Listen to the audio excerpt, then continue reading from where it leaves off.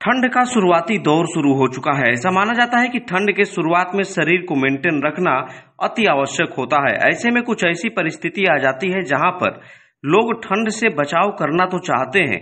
शरीर को गर्मी की आवश्यकता तो पड़ती है, लेकिन उसकी आपूर्ति करना कहीं न कहीं संभव नहीं हो पाता है।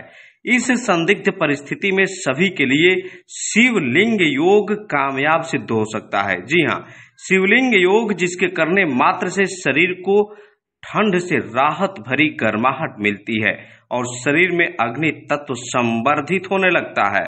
मेरा नाम सर्वेश कुमार है। मैं राजकीय आयुर्वेदिक चिकित्सालय नगर बलिया में योग चिकित्सक पद पे कार्यरत हूँ।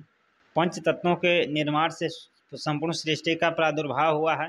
पंच तत्वों में अग्नि तत्व को हम बढ़ा करके ठंड का प्रतिरोध कर सकते हैं। इसके लिए योग में सबसे महत्वपूर्ण मुद्रा होता है शिवलिंग मुद्रा। उसमें हाथ की अंगुलियों को इस पोजीशन में कर करके अंगूठे को ऊपर करके इस पोजीशन में थोड़ी देर रुके रहने से हमारे शरीर में अग्नि तत्व संवर्धित होने लगती है।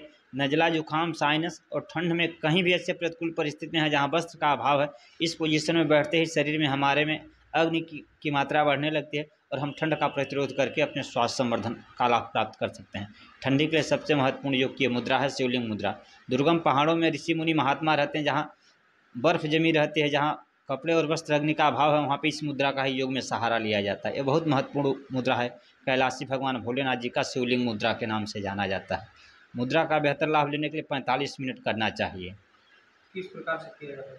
दोनों हाथ की अंगुलियों को परस्पर आपस में ऐसे हम लोग फटसा लेते हैं और लेफ़्ट हैंड का अंगूठा ऊपर की दिशा में ऐसे स्ट्रेट सीधा खड़ा रहता है।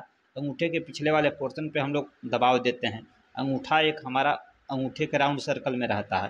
तो वहाँ पे यू वी ग्यारह नंबर का पॉइंट होता है जो हमारे थायराइड पैराथायराइड ग्रंथि के साथ साथ जल तत्व का नियमन करने के लिए महत्वपूर्ण पॉइंट माना जाता है। और जब उस पॉइंट पे हल्का सा अंगूठे के माध्यम से प्रेशर पड़ता है तो हमारे शरीर में अग्नि का संवर्धन होने लगता है और हम हर प्रतिकूलता का सामना करते हुए अग्नि और चेतना के उच्च स्तर पर पहुँच करके स्वास्थ्य संवर्धन का लाभ प्राप्त करते हैं। जो व्यक्ति स्वस्थ रहता है, उसकी आँखों में चमक रहती है और जो व्यक्ति बीमार होता है, उसकी आँखें निस्तेज और चेहरा बुझा बुझा रहता है। लोकल एटीन के लिए बलिया से सनंदन उपाध्याय की रिपोर्ट।